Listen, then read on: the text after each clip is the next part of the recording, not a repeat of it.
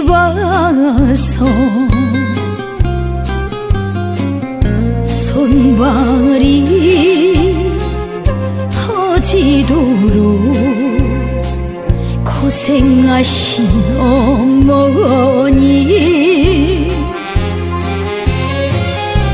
백날을 하루같이 자식 걱정에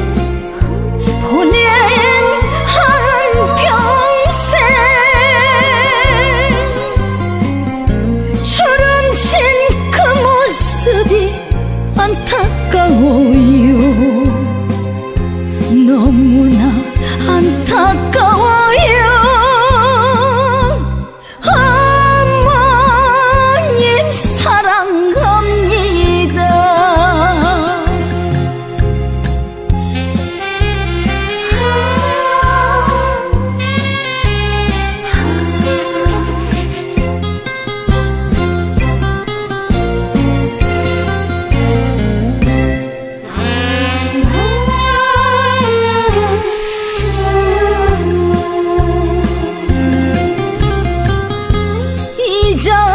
자식 키우시며